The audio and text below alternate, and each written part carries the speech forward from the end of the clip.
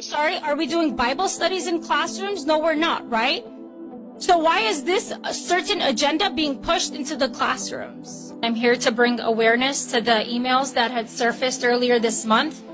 The one I find most disturbing of all is of a third grade teacher trying to talk about sex with eight-year-old students.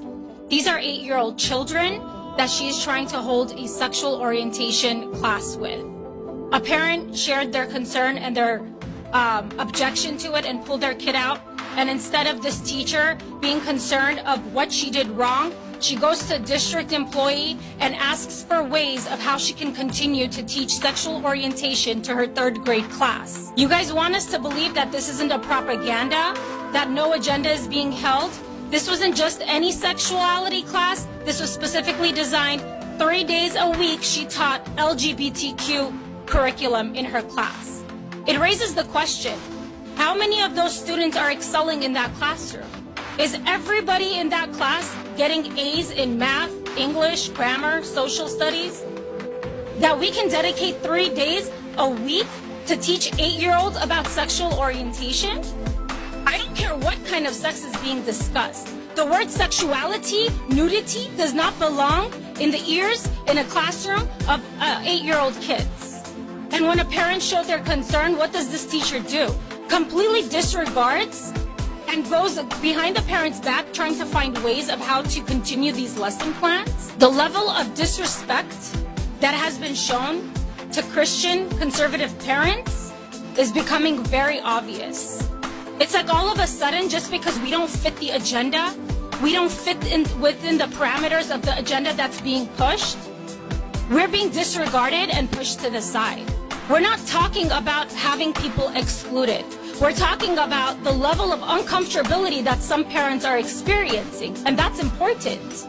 Because if you guys want to talk about including all, listening to all, every student matters, our kids matter too. And we don't want those subjects being taught to children who are just eight years old. And the topics get worse and worse and the subjects get uh, more detailed. And I'm sorry, are we doing Bible studies in classrooms? No, we're not, right? So why is this a certain agenda being pushed into the classrooms? But if we don't take a stand and we don't share our voice, they're just going to sweep this under the rug. Why should a parent overhear her eight-year-old kid being taught about sex? Mrs. Tiber says, Good morning, Sally and Craig. As you know, I teach third grade. Today I talked to my class about LGBTQ Pride Month and played two short videos from YouTube that were geared toward kids. A parent who heard the lesson and discussion made her daughter leave the Zoom and texted me asking when I was done discussing sexual orientation so that she can let her kids back onto Zoom.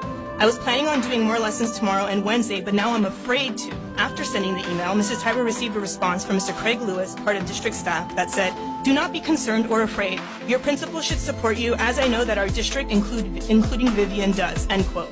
This district staffer goes even further and gives more media recommendations to the teacher that says to steer clear of content that says sexual or coming out, since it may raise red flags. In other words, coaching this teacher on proven methods to push her agenda but to stay under the radar.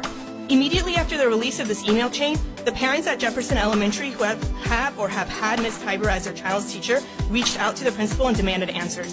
Why is gender and sexuality issues being taught to eight-year-olds to begin with? With the tremendous loss of learning our children experienced the past two years, coupled with the already dismal reading and math performance scores of public schools, why are teachers taking away precious learning time to push their own political and social agendas? In what realm should eight-year-olds be discussing topics around transgenderism, lesbian, gay, queer, and coming out?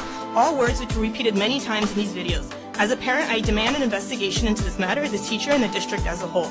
The lid has been flipped and the level of systemic indoctrination is abhorrent.